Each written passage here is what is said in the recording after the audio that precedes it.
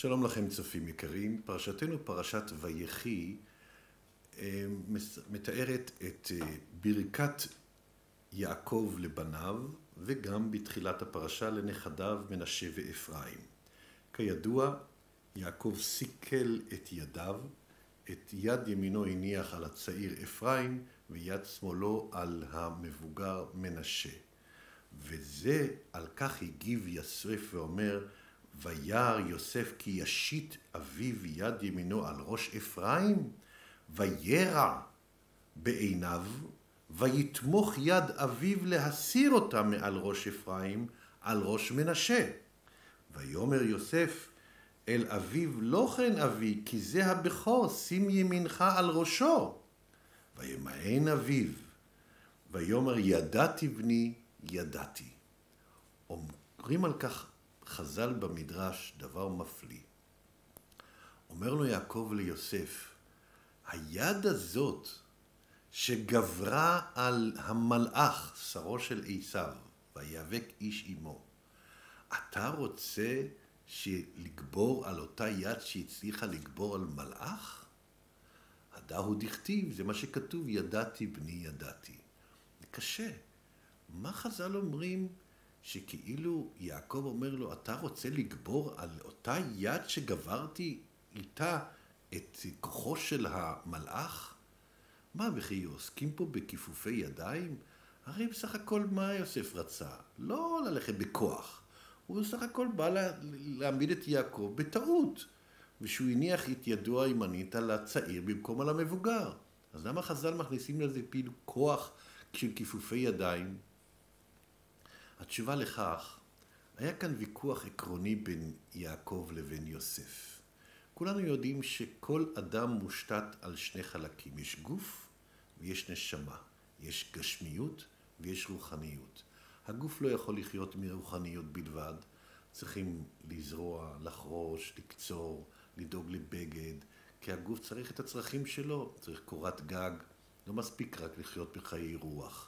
יש, אה, הגוף צריך את הצרכים של המזון הגשמי. לעומת זאת, הרוח, הנשמה, צריכה את המזון הרוחני שלה, קיום תורה, מצוות, חסדים, דברים ערכיים.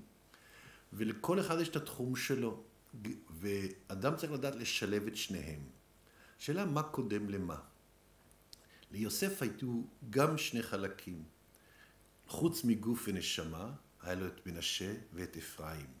מנשה היה המצביא, המזכיר של יוסף בניהול ענייני המדינה במצרים. הוא זה שהלך, יוציא ובא ודאג לכל העניינים, מעין מנכ"ל המשרד של יוסף, שהיה משנה למלך מצרים. הוא עסק בעניינים גשמיים. לעומתו, אפרים היה יושב ולומד תורה.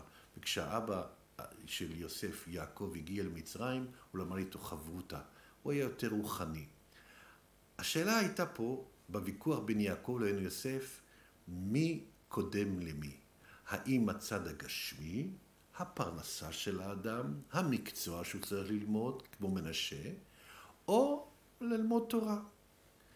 יוסף דגל בשיטה, כדאי שללמוד מקצוע שלא כדאי שאדם יבוא וילמד תורה כל ימי חייו ויצטרכו לתמוך בו אנשים אחרים, שידאג להם לעצמו. יעקב אמר לו לא, הטעות שלך, אדם במיוחד בגיל צעיר צריך לעצב את אישיותו ואת דמותו, שיתחיל בלימוד תורה. אם יהיו לו קשיי פרנסה, שילך ללמוד מקצוע. הוויכוח הזה היה באיזה יד לשים את יד ימין, למי לשים את יד ימין. יעקב אמר בוא נשים את היד הזאת על אפרים, כי התורה קודמת לכל משהו אחר. ואילו יוסף ביקש, להסיט את יד ימין על מנשה, שהמקצוע קודם. אומר לו יעקב ליוסף, היד הזאת, שאתה חושב להעביר אותה מאפרים למנשה, אתה חושב שחידשת פה משהו? זה היה לי כבר ויכוח ישן עם עשיו. הוא גם חשב שאיש ציד, איש שדה, זה קודם לאיש תם יושב אוהלים. והוא שלח את שרו של עשיו להתווכח איתי. זה לא היה היאבקות פיזית, זאת הייתה היאבקות של ויכוח רעיוני. האם המקצוע קודם לתורה או התורה קודמת למקצוע? אומר לו יעקב, אתה חושב שאתה מצית את הגלגל? אתה חושב שהיד הזאת שניצחה כבר בוויכוח את צרו של עשיו, עכשיו אתה רוצה לחזור על הוויכוח? לא. וישם את יעקב, את, את, את, את אפרים לפני מנשה. כי אפרים מסמל את התורה, מנשה את בעל המקצוע, את הספרים הגשמיים. ולכן יעקב אומר, מברך את נכדיו, המלאך הגואל אותי מכל רע, יברך את הנערים ויקרא בהם שמי ושם אבותיי. למה שמו קודם לשם אברהם יצחק? למה, איפה הכבוד לסבא ולאבא? כי הסבא מידת חסד אברהם, יצחק מידת הגבורה, העבודה, ואילו יעקב, התורה, מסמל את התורה. לכן יקרא בהם שמי קודם כל תורה, אחר כך תעסקו בעניינים אחרים, עבודה וגמילות חסדים, זה כבר דבר שני. יעקב נשאר תמיד בדעה שוישם את אפרים לפני מנשה. תורה קודמת למקצוע, ואם לא יהיה לו אפשרות להתפרנס, תלמיד לא מאוחר ללמוד מקצוע. שבת שלום.